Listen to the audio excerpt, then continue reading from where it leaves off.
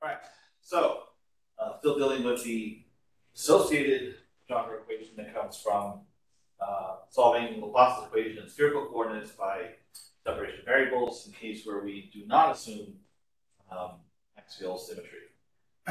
Um, and last time the associated Legendre functions were sort of uh, solutions of the uh, of, um, theta part of uh, Laplace's equation, uh, those functions were introduced, um, and here to, to do with the various properties that they have.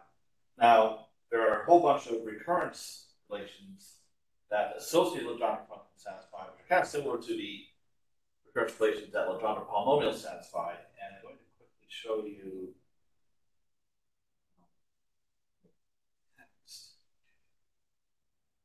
Um, all right, so here, here we have bunch of recurrence relations. Um, so for instance, right here we have recurrence relation where the, uh, notice the subscript is all the same, but, um, but the superscript is different. So for instance, uh, PLM plus one is determined in terms of PLM and PLM minus one. So, so you generate ones of, uh, start with ones of lower degree, and you can use this to generate ones of higher degree um, uh, pretty efficiently. Um, okay. Um, but, but now I'm going to use those recurrence relations to show you that in certain cases, we can come up with relatively simple formulas for uh, associated uh, Legendre functions. So here's an example of that. Um, so this is actually the general formula for the associated Legendre functions, based on the Rodrigues formula for the uh, Legendre polynomials.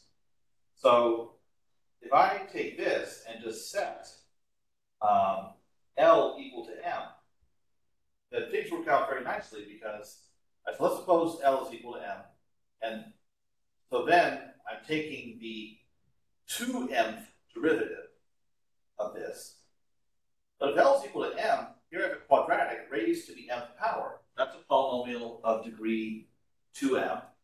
So if I take a polynomial of degree 2m and I differentiate it 2m times, what kind of function is that going to give me in the end?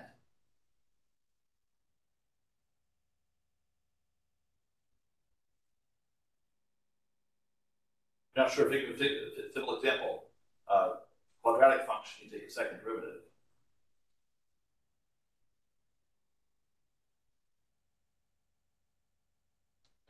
Be a constant? Yes, it will be a constant. Uh, what's more, in this case, it's not hard to figure out what the constant will be because this is x squared minus 1 raised to the uh, mth power. Okay, so I have it written down here for the case of L equal m.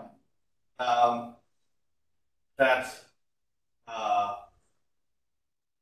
the leading coefficient of this polynomial is going to be 1. Uh, so this leading term is x to the 2n. Well, when you take the derivative of a power of x, like if you take, the derivative of x to the n, n times, you point down an exponent, you get n times n minus 1, n minus 2, and so forth. It's a factorial. so the this derivative works out to be just with a quantity 2m factorial.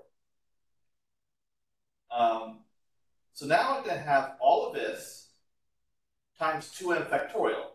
So that's the product of all the numbers from 1 to 2n.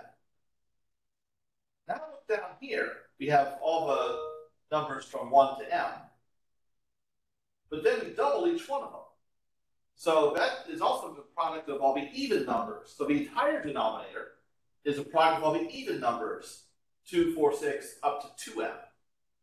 So if, if all the evens are down here, and all of them are up here, you cancel, you're left with the odds. Well, that's 2n minus 1 double factorial. Um, and then everything else sticks around. So now we have this. So this is the formula for the associated Legendre function with the same subscript and superscript, both m.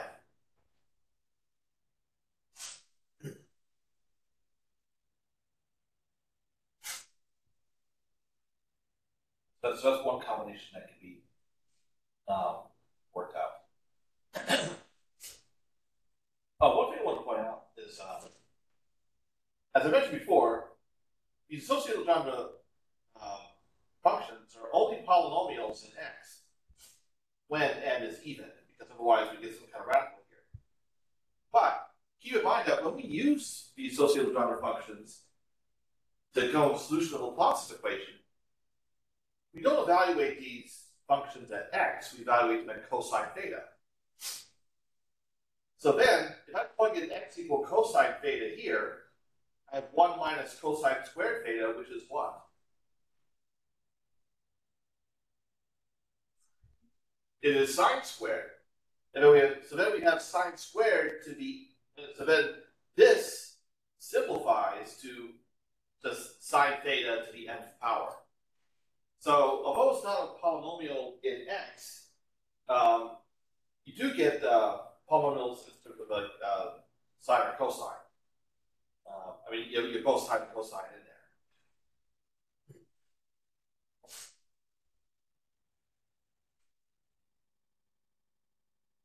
Here's another combination.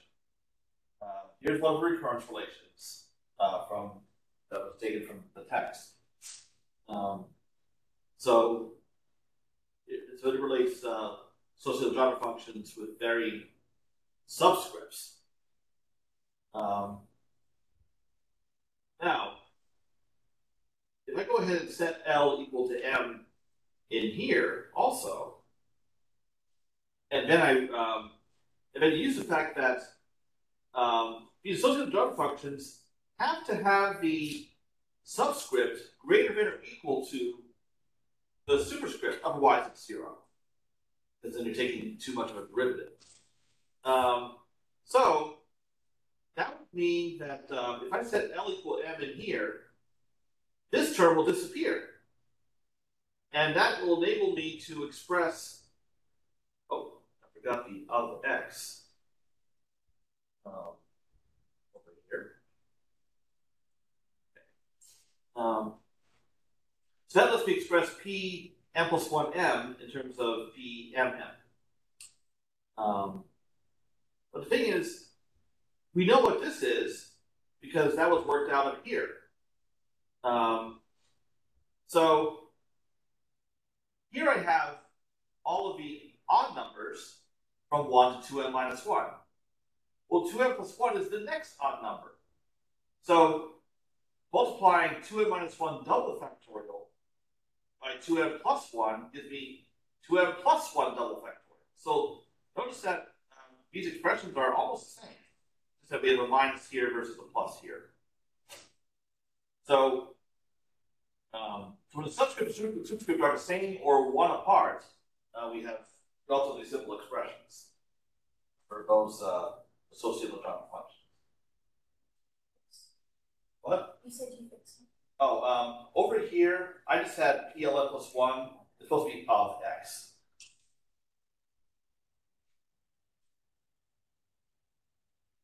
Actually, it, well, it's over here because, yeah, because I text here, I have to have it. Any questions about these particular expressions for associated Legendre functions were obtained?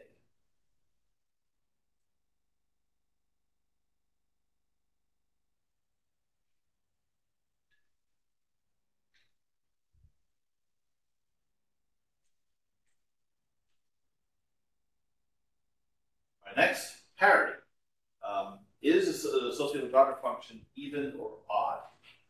Um, we can start by what we know about the Legendre polynomials for which the associated Legendre function can be obtained. So the Legendre polynomials uh, are even if the degree is even, odd if the degree is odd. For instance, p0 is equal to 1, uh, which is even, uh, p1 is equal to x, which is odd. Another way of writing that, but pretty concise, is PL of minus x is the same as minus 1 PL, PL of x. So now what we can do is, if we use this formula for the associated Legendre functions, in terms of the Legendre polynomials, um, what I can do is, so I start with this, and then I'll replace x with minus x um, throughout. I have to be careful about this because um, we really have to make a substitution consistently everywhere. Even here, taking derivative with respect to x, well now that's a derivative with respect to minus x. The only part that's not going to change right away is this, where we have 1 minus x squared. So, what do we get? So PL minus x, that's replaced by this, from what we know about the parity of Legendre polynomials.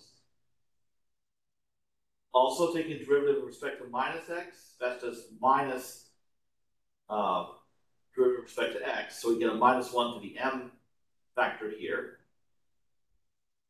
Um, and then we have um, this minus 1 to the L. Go ahead and pull that out. So now we have all this minus 1 um, uh, so to combine these and minus 1 to the L plus M. And then this minus 1 to the M I leave here because this part right here that I'm highlighting, that's exactly this, the formula for the associated Legendre function. So, in the end, this is what I get. Um, so the parity depends on the sum of L and M, whether that is even or odd.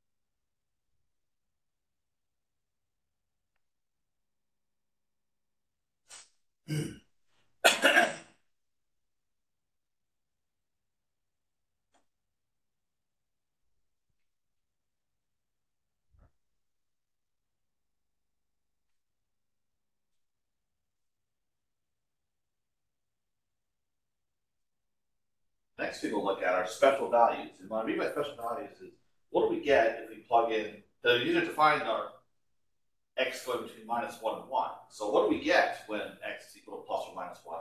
Also, what happens if uh, x equals 0?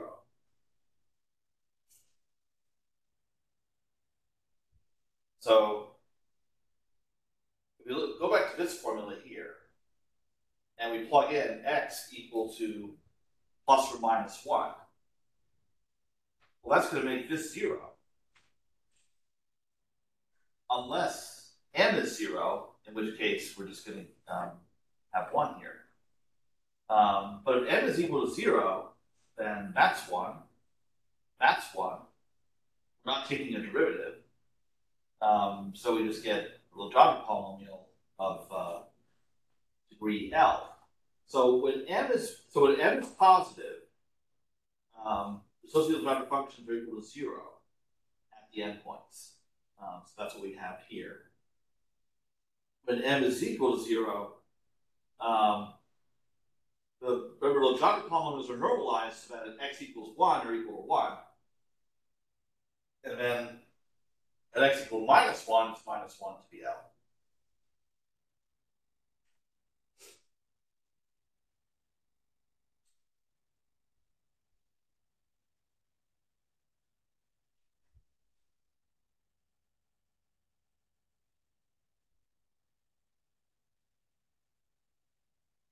Um,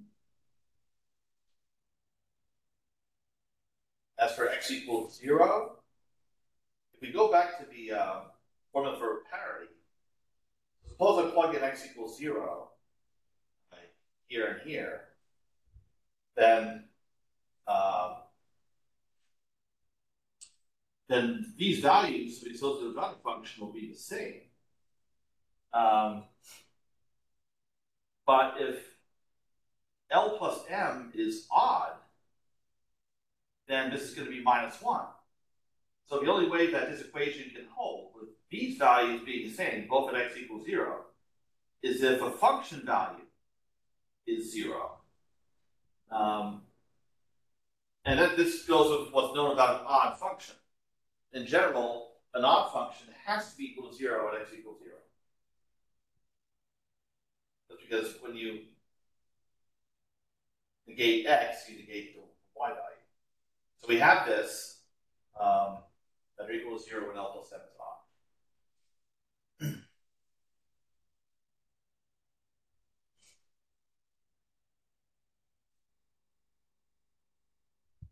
um,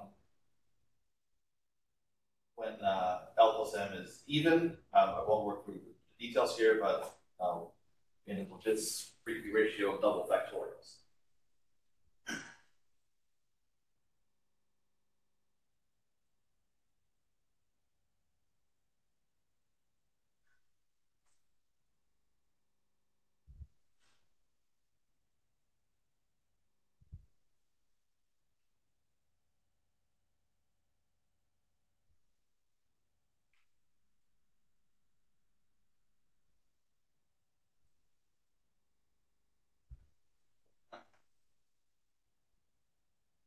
About orthogonality?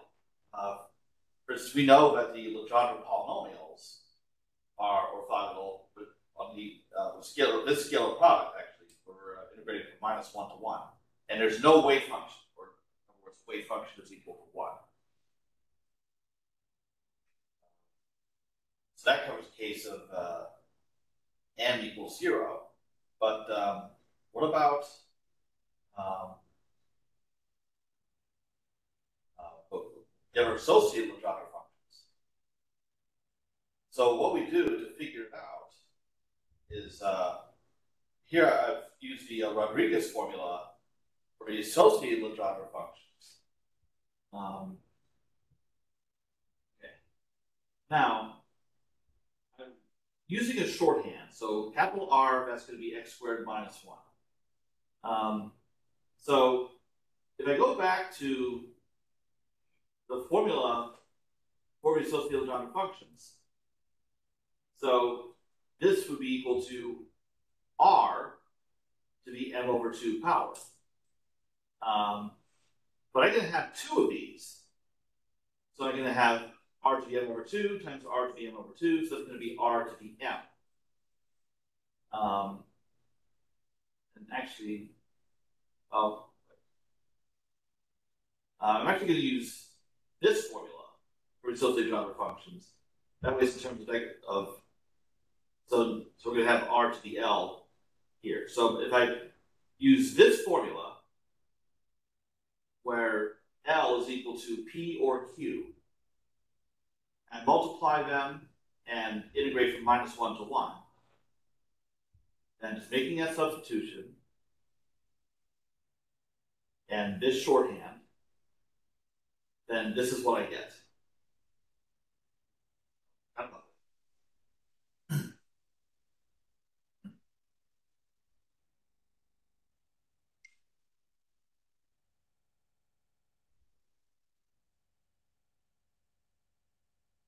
Now,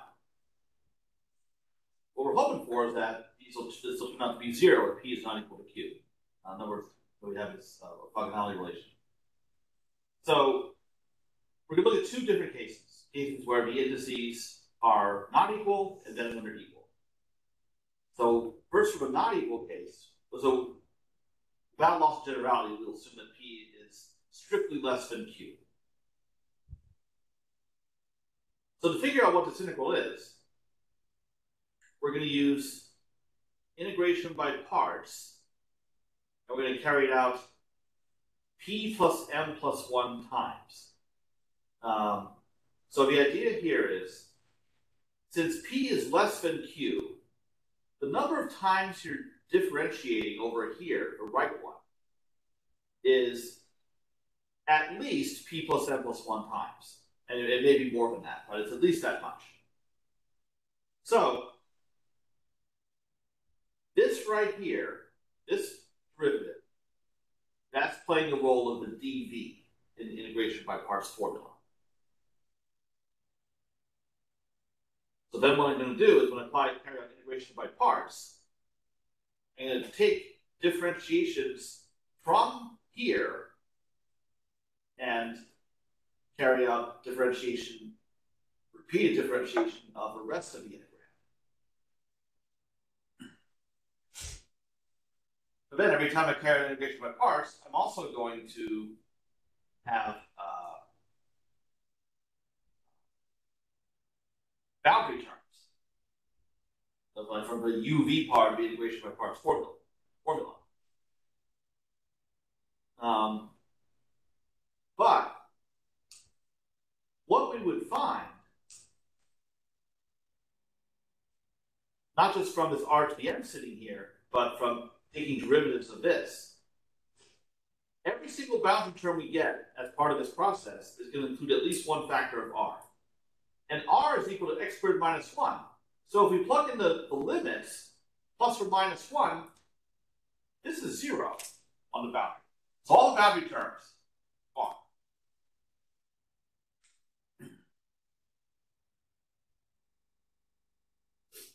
Now, What's left is, if I remove p plus m plus 1 differentiations here, and I shuffle them over to here, then I have, I'm taking a derivative of, uh, um, okay, be very careful about this. Um, I think some of these numbers I have here Okay. So R to the P is of degree um, 2P. But then I take the derivative P plus M times.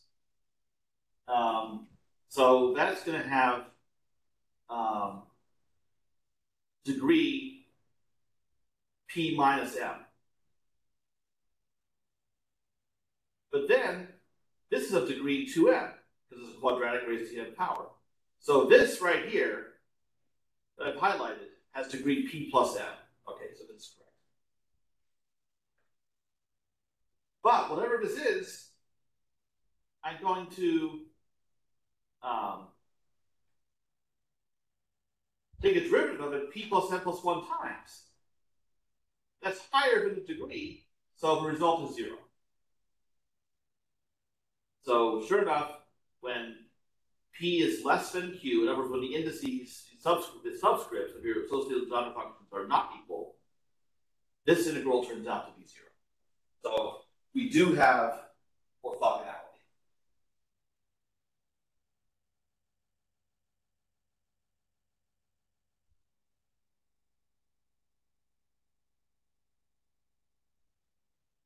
Any questions about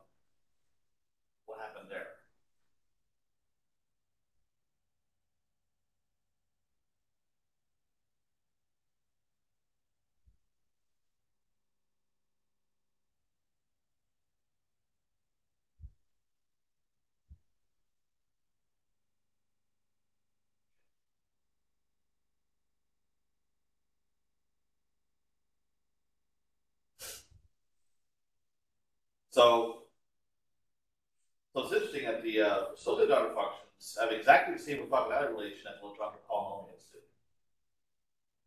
Like meaning how that worked out. But the thing is, if you're going to expand a, a function as a like a uh, take some function f of x, you want to write it as a, a series expansion involving associated Legendre functions. Right, it certainly helps that they're orthogonal in terms of getting a coefficients. But you also need to know what is the value of the scalar product of one of these functions with itself. So in the case of p equals q. So what happens in that case is we're, so we have this integral with uh, p equal q, and now we perform integration by parts p plus m times. So, so, so what happens in that case? Um, because, as I mentioned before, this right here, R to the M, and then this first differentiation expression, that's polynomial degree P plus M. So if I apply integration by parts, P plus M times, and move all these differentiation operators over to here, um, that's going to end up giving me a constant. Um, so to show you what that looks like, um, so I have this, and by product rule, um, then I have this expansion involving these binomial coefficients, and then derivatives of r to the m and derivatives of this individually. So this is this binomial theorem right here. That's how you, you obtain the product rule for higher order derivatives such as this. So it's just applying the product rule repeatedly.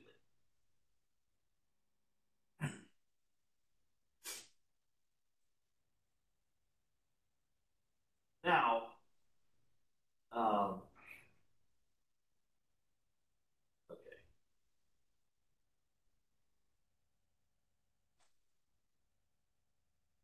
Now S is going from zero up to P plus M.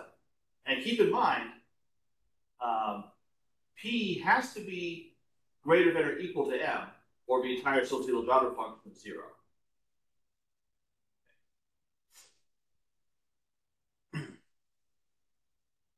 Now,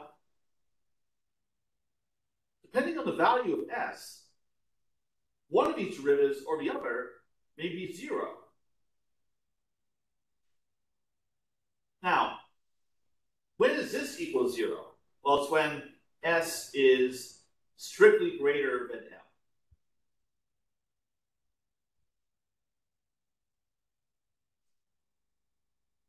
Now, as for this, we look to see when, when this is uh, equal to zero. That's when this degree of difference. Oh, wait. I'm sorry, I totally moved. Okay, I'm gonna write this down.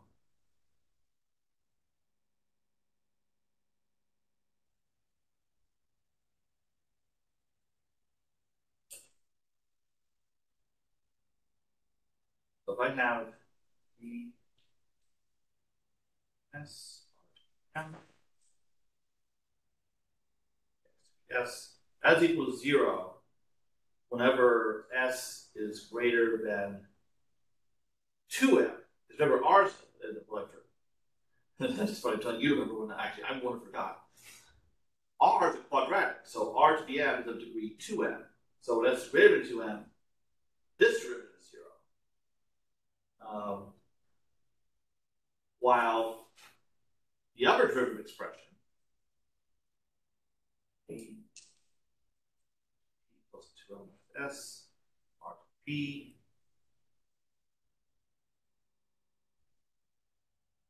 that is equal to zero when we have the following.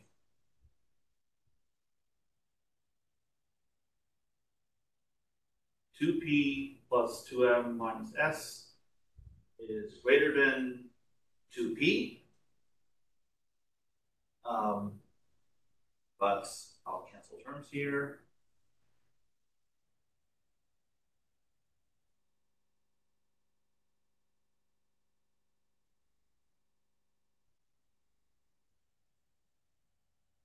So I don't, I don't need a display equation for that. So, so when S is greater than or less than 2m, this whole term is zero. The only time it, so the only possibility left is when S is equal to 2m. So now we have this. Now, this right here, remember R is of degree 2m take a derivative of this, it's a constant. So we're going to get a 2m factorial from that. Um, same thing over here. This is r to the p. This is of degree 2p. We take a derivative of that, we get 2p factorial. Um, and then over here we have this is the formula for the uh, binomial coefficient. So then we simplify, and this is what we get.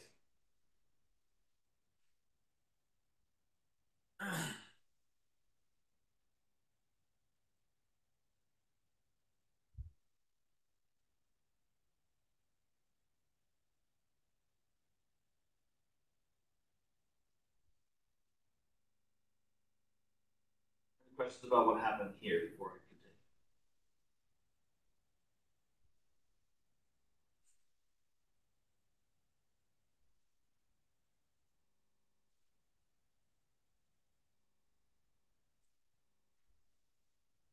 Now, if I go back to the original integral in such that p is equal to q, um, so when I'm taking using integration by parts, um, I'm taking all of the um, differentiations from this one, for instance, and moving them over to this.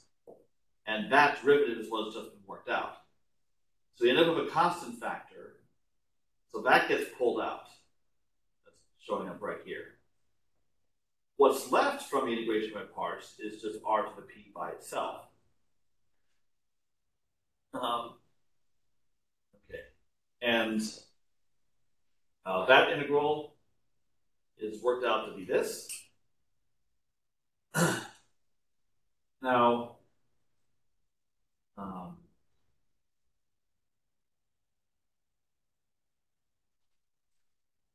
be a particularly good way to show that. I might look into that in a moment. But first, uh, so for now, we're just going to take this for granted. it's kind of ugly. Um, and the thing is, we have 2p double factorial, so we can we have a whole bunch of powers of two that we can pull out. Um, then we have the um, uh, p factorial here and here. Um, okay. Oh, also here we have uh, double factorial, but I can write that as a single factorial as long as I put p factorial here. Um, and that leads to nearly half of these factors of 2 that we have here. So from 2p double factorial, um, I think what I should do is make an intermediate step.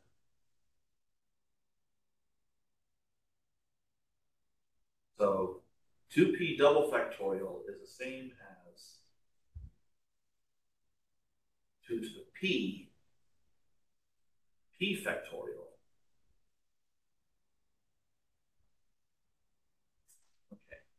But then 2 times 2 to the p, that's uh, 2 to the p plus 1.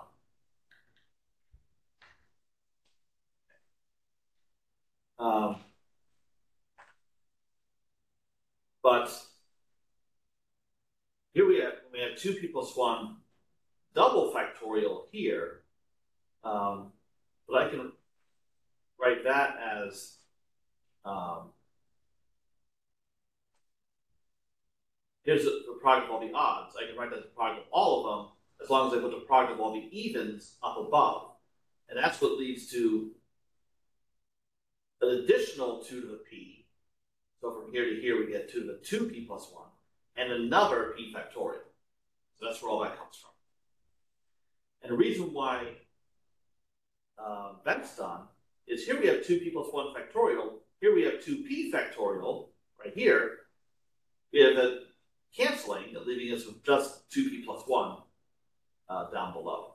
And then looks like pretty much everything else cancels. so we're left with this. Now this is uh, important because this factor, 2 over 2p plus 1, that is what you get from taking just a plain Legendre polynomial of degree p and integrating it squared. You get this. So with the associated Legendre function, you get the same factor times this this uh, ratio of factorials. Again, a very close connection what we see between see from Legendre polynomials and associated Legendre functions.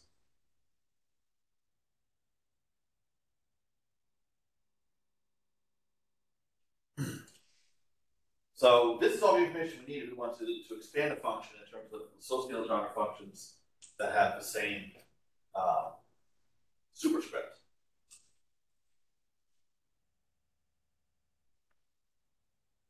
Um, now, um, the associated Legendre polynomials, as opposed to the associated Legendre functions begin with, those are also orthogonal um, on the interval minus 1 to 1, but they need this weight function, 1 minus x squared bn, um, which actually makes sense because uh, the associated Legendre functions are equal to 1 minus x squared to the m over 2 times the scaling factor times one of these associated Legendre polynomials. So when you multiply two associated Legendre functions, what we have inside this product are two associated Legendre polynomials, and you have a 1 minus x squared to the m over 2 from here, 1 minus x squared to the m over 2 from here. Multiply those together, and you get 1 minus x squared to the m. So that factor is pulled out of this product and becomes a weight function. So, so this result here is really just another way of interpreting this integral being equal to zero.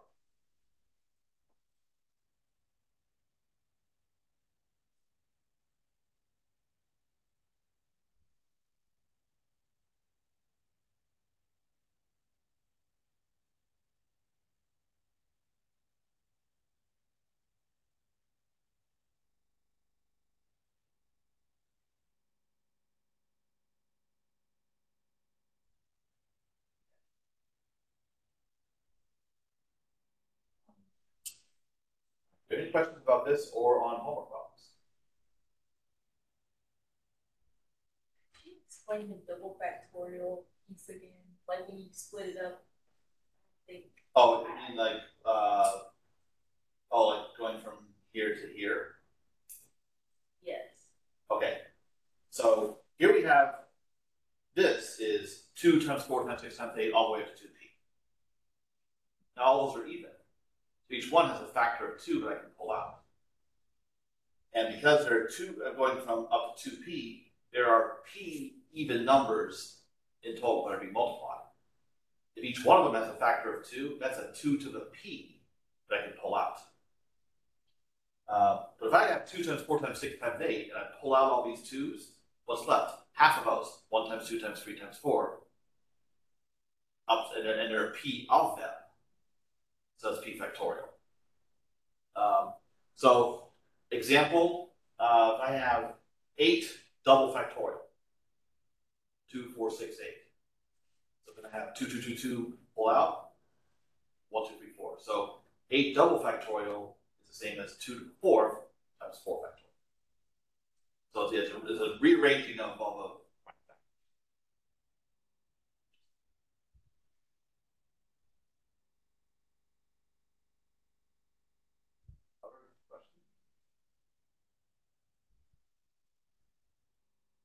Some are getting close to the end of homework. How many we need to do when numbers are dropped?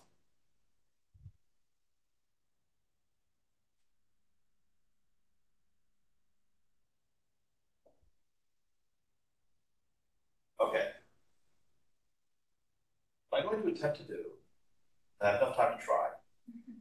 This is totally unprepared, so it may go completely wrong, and that's what, and I'll try to be okay with it if that happens. Then just work that later. Um, this integral right here, minus one to one, r to the p dx. Can I do it? Even though I'm hobbled by trying to do this in the middle of class. Um,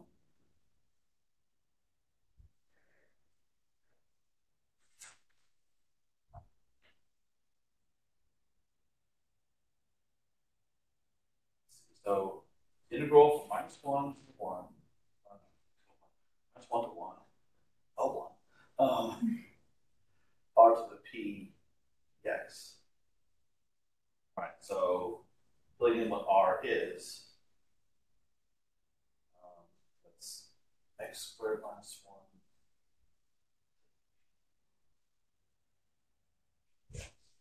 Um, now, seems a bit too much to, uh,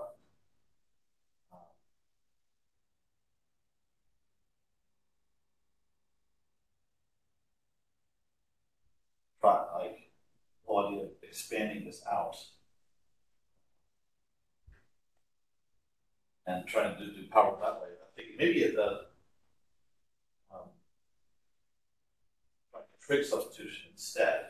Now, when you have x squared minus one, actually, oh, I can do one minus x squared instead. It might work out a little nicer. So if I let x equal to sine theta, um, then should I do cosine? Because yeah, I'm gonna maybe cosine would be better. So so one minus cosine squared would be sine squared. So now I have sine two p theta d theta, but if x is equal to cosine, then dx is equal to minus sine theta. So then I get sine of 2p plus 1.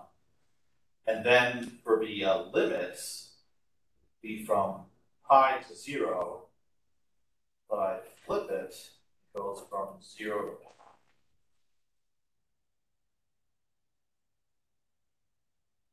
Okay. And what I remember about this is um, that this can be done using integration by parts. Um, that there's like a recurrence for it. Um, see how that goes. So if I let um, u be equal to sine to the 2p, and then dv be equal to sine theta d theta, then I would have 2p cosine um, for the boundary terms. Except I plug in 0 and pi, and those would be 0. So the boundary terms will actually go away. So I get minus the integral of v du. So, oh, that might not work out so well. But, um, well, oh, never mind. Okay. So, yeah, v is equal to minus cosine.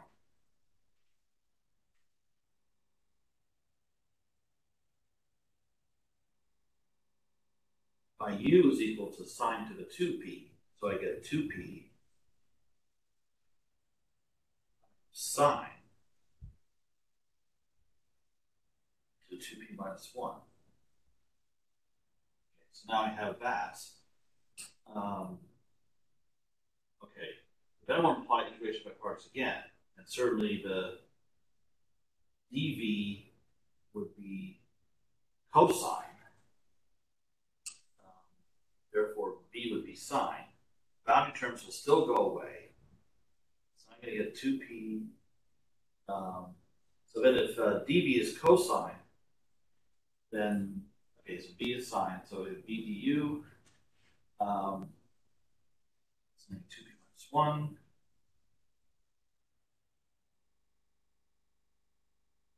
Sine the 2p minus 2.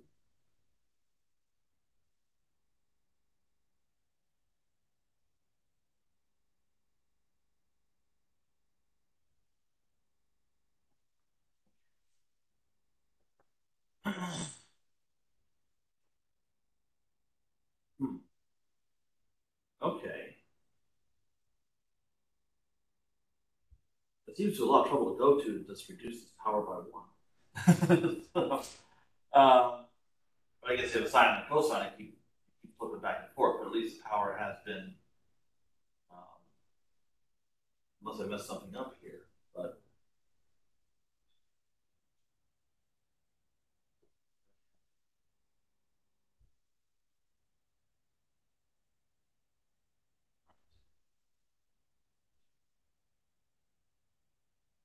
Yeah, something seems wrong here. Oh, that's right, two p minus two, yes, it should be two p minus one. Okay, there you go. All right.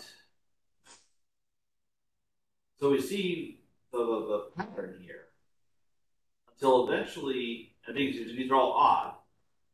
Um, so if I keep going,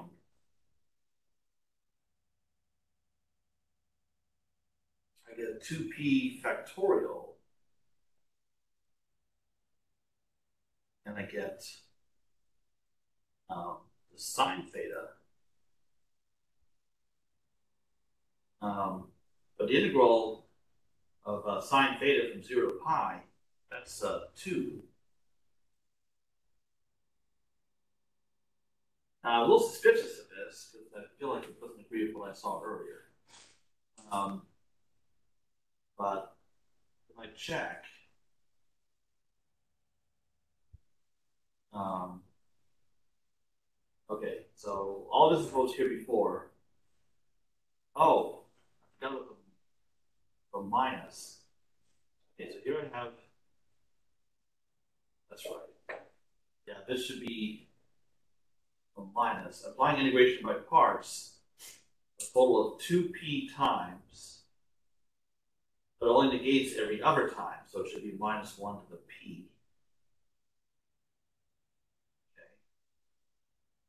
I've got that part right, at least. Um, okay, the factor of 2, that's supposed to be there. Um, but definitely not getting this ratio of double factorials right at all. Um, this has the all the even numbers from 1 to 2p. This has all the odd numbers in the denominator. Okay. So certainly something went wrong. Um,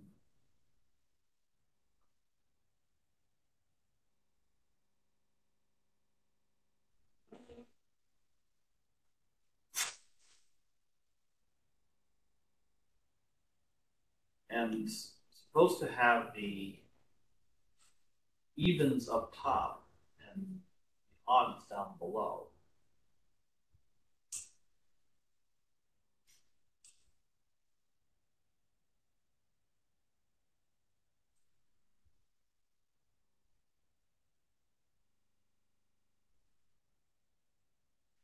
It says so.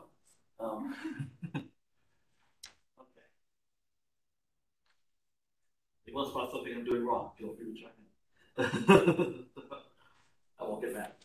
Um, I'm already mad. okay. Um,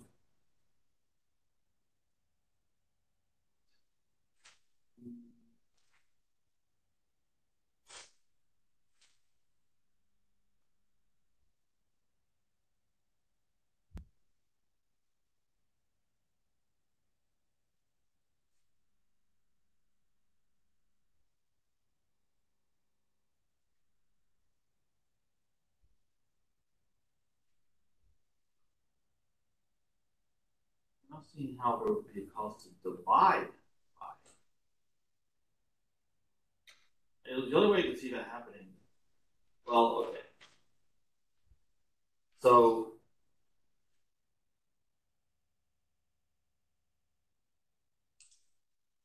there's a way to evaluate this. Oh, okay. This could be treated as like a U substitution. Um, okay. So if I repeat at this step,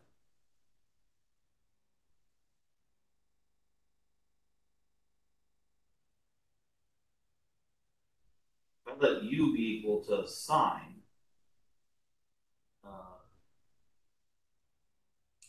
2p then I've used the 2p minus 1, and then this is du, then I could integrate that.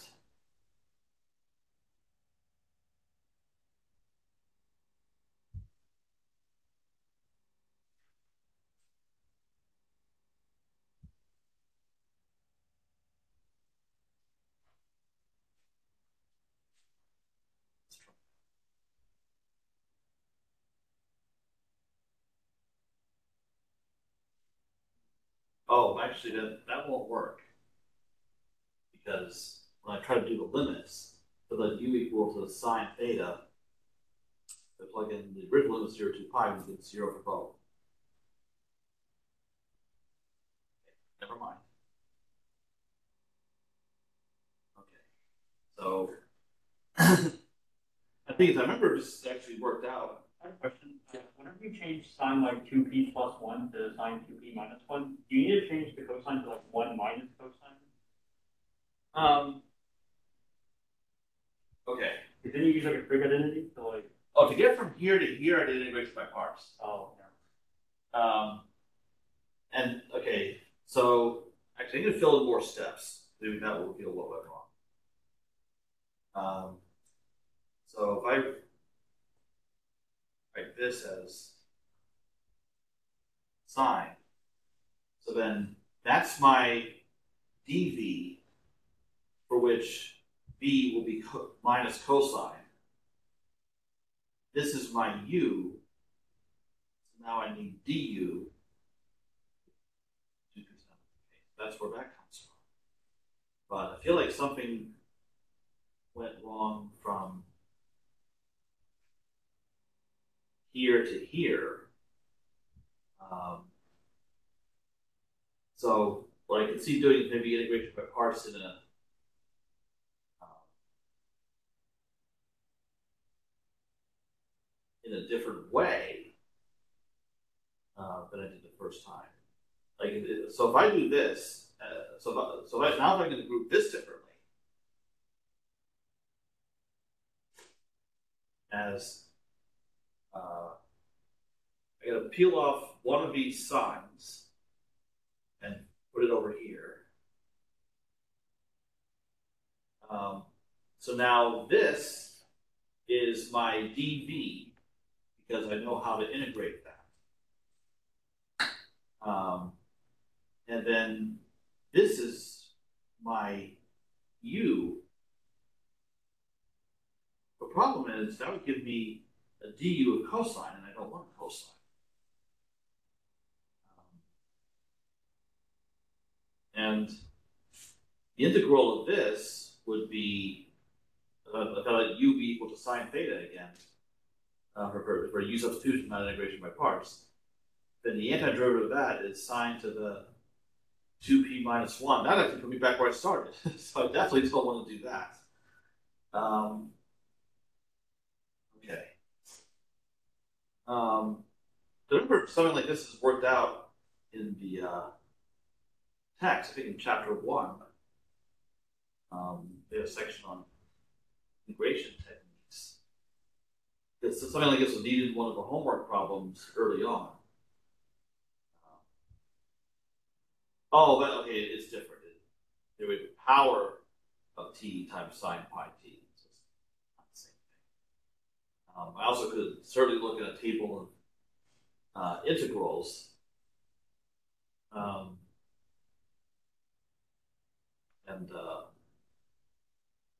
get it that way. But yeah, here it makes perfect sense to let uh, again this be u and that would be dv to give me um, sine.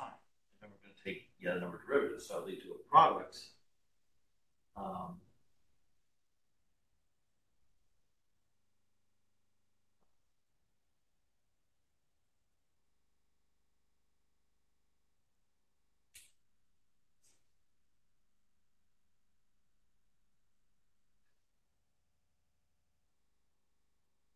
yeah, like a general formula for I don't want that.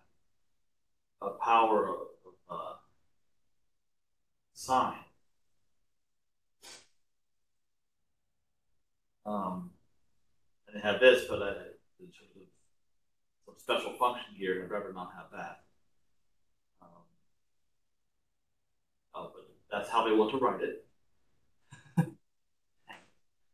want a recurrence relation. That's what most integral tables have.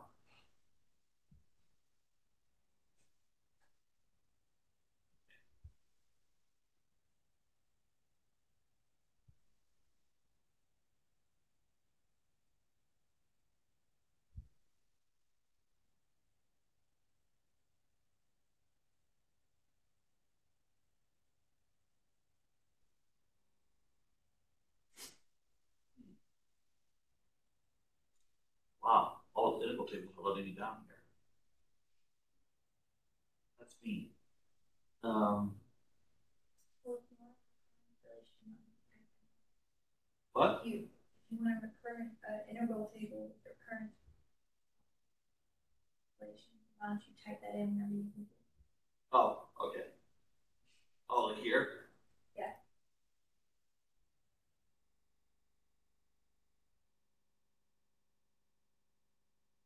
Ah, okay, here's cosine. Um, Oh, sine. uh, oh, uh, yeah, each one depending. Oh, yeah, each one depends on.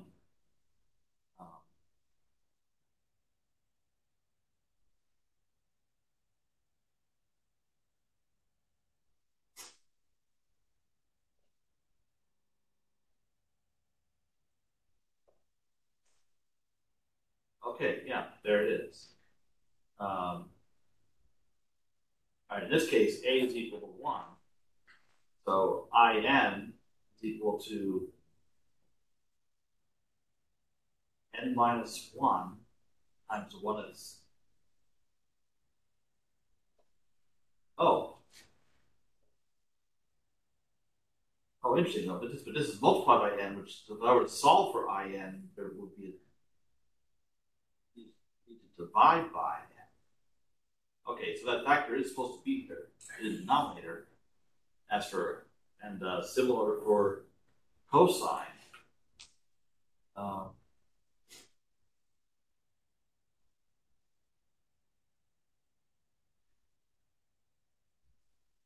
and then okay.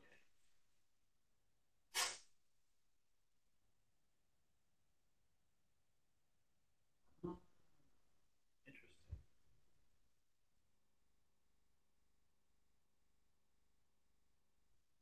So does that mean that I looks like I probably messed something up because here the integration by parts looks like it's done twice. And where you started, except times a factor, you went to the other side. So that tells me that I did something here that was actually wrong. um, okay.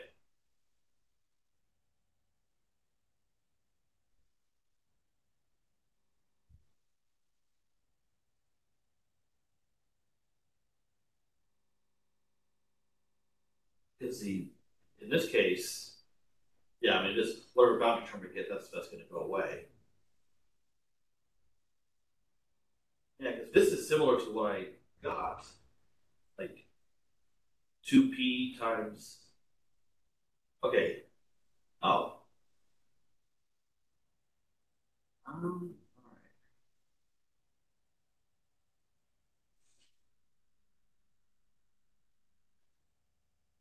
I guess I have to carry this out a little more carefully then.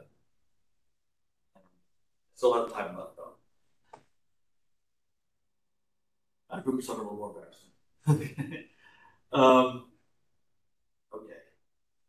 So, I think if I write more down, it will help. So this is what I get for doing stuff in the middle of class.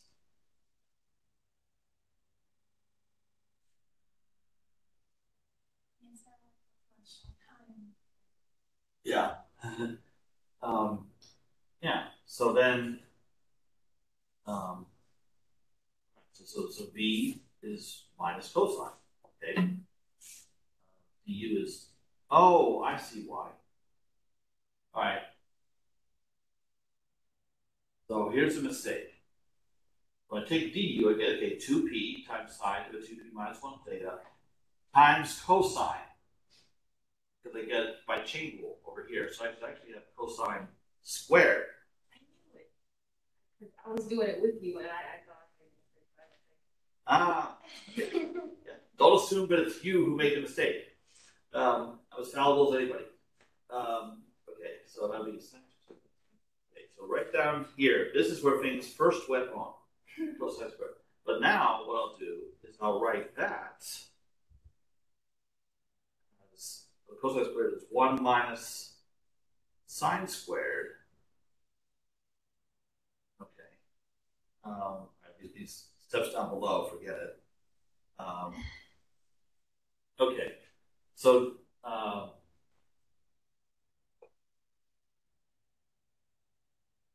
so now I'm going to have two of these terms.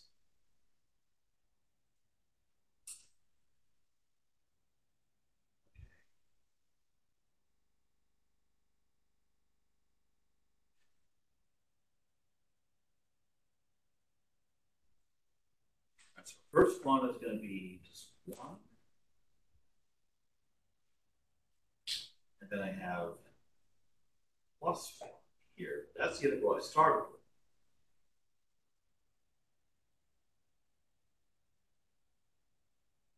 Okay. now, um, but so this is the integral I wanted to work with. So now, um, okay. So now I need to take this term and move it over to the other side. So now I'm going to have this integral times 2p plus 1. And that is all equal to this. And then I divide.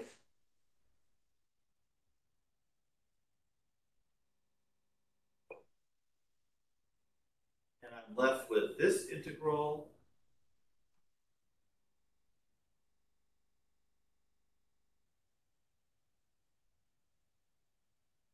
Now I have that. Okay, so to reiterate, and this always comes with Cal 2 where you have an integral, like an exponential times a sine or a cosine. You do integration by parts twice. The sine flips to a cosine, flips back into a sine. It's like, oh, you're back where you started, but it's multiplied by some constant, a different constant. So you move it. So if you have the integral you started with on the left side of the equation, take the new integral with the same, same integral times a constant and move it over to the left side, and then you have the, your integral you want times a constant, you divide by the constant. So that's the same thing that happened here. So, okay, now, this is after carrying out integration by parts, um, really, uh, oh, actually, o- only one time, but it reduced the power, uh, it reduced the power by two. So I have to do this, um, a total of p times, and that's going to give me um, all the evens up top and all the odds down below. So the final result should be, um, well, eventually I get down to the sine. Oh, I forgot the theta. The sine theta, the integral of that is two, as I mentioned. So final result should be Um, so 2p double factorial, and then I have, let's, suppose p is equal to 3, for instance. So I have 7 here. Uh, so I'm going to have, and then 6 here. So 6, 4, 2. Here I'm going to have 7 times 5 times 3. I, I don't have a 1, but who really cares about that? Um, oh, and then Oh, what about a? s- I'm not getting a sign flip though. All right, so I get a factor of two. Now, if I compare this to what I'm supposed to get, I, I get that, I get that, I get that. I don't. I'm still not getting a minus one from p, so I'm troubled by that. Are you missing a negative from the cosine? Uh, that's possible. Uh, okay, so when I take the derivative, I get two p minus one. Oh, okay. So, um, all right. V is equal to. Oh, okay. So on the one hand, V is equal to minus cosine. But the integration by parts formula will have a minus into it that gets canceled out by this. Now, if I look at the recurrence relation that I saw earlier,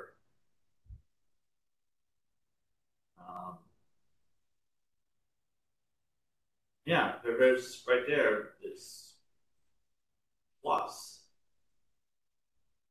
Um, there's a minus coming from the boundary terms. That's weird. Hmm. Not sure what to make of that. Um,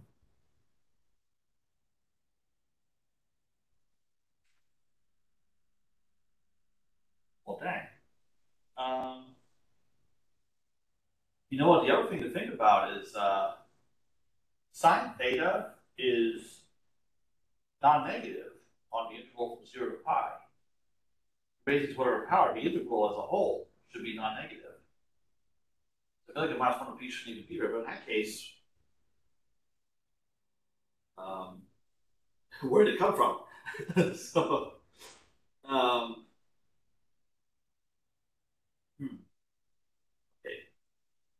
Well, that's a mystery. Um, so, okay. So we're not going to resolve everything, but uh, see, so this is how much uh, brain function you lose when you're up here teaching and to do what? Uh, correctly. Um, okay, so it kind of sort of worked out. All right, well, that's fine. Um, Let's just say it's in the fine print. Yeah. Okay. Um, all right. So, um,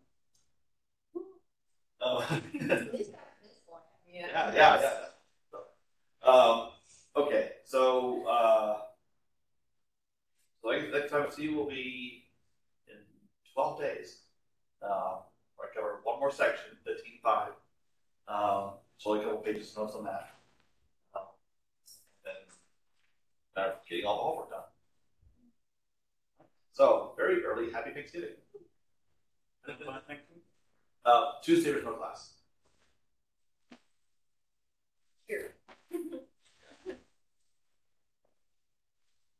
That inspiration of getting it is literally just writing u equals and v equals. Oh, sorry, I missed a chat message earlier. I didn't get, I didn't get a notification of that.